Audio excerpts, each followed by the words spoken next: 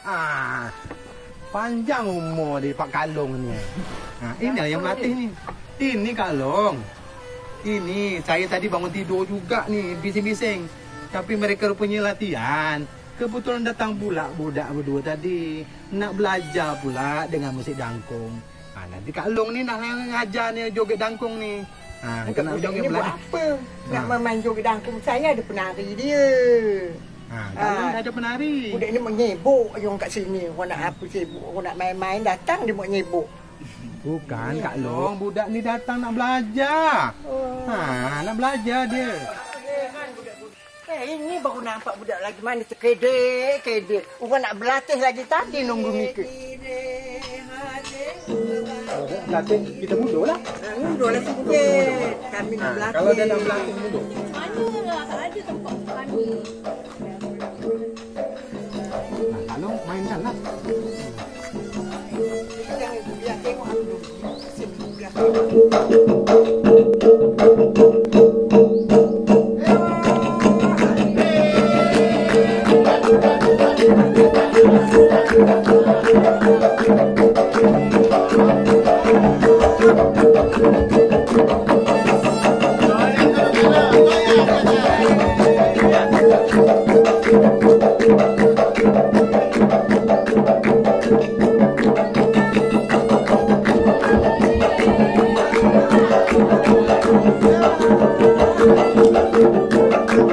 Dima,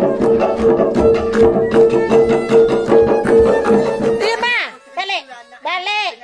Balik. Aduh, mak Dika aku sangka Dika nak masak kat rumah Wak Dika balik nyaring kau pakai makan ke pulau.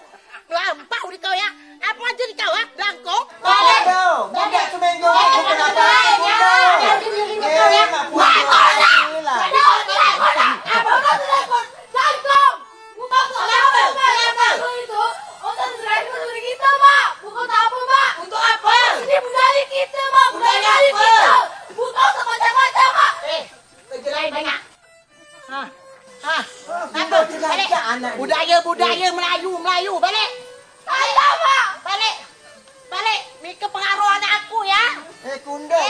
Kau bukan pengaruh. Kau nak Tak, jaga yang anak jadi kita pengaruh anak belajar aku, ya. nari Kita- dangkung Melayu. Aku.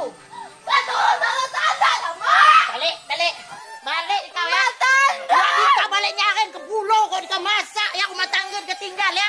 Saya lah puas ngajar anak saya tapi dia tetap nak joget dangkung. Itu sebetulnya joget dangkung itu bukanlah hal yang negatif Mak Kundo. Mak Kundo tu harus mengimbangi mana yang baik. Saya juga punya anak. Semua anak saya ada tiga anak saya. Tapi anak Mak Kundo tu saya rasa dia punya potensi. Makanya saya bilang eh, bawa budak-budak tu untuk di kita kembangkan untuk kita belajar. Jadi pakcik tetap nak ngajar anak saya. Kalaupun Pak Cik nak ngajar anak Mak Kundo, berapa Mak Kundo nak bayar Pak Cik? Ha?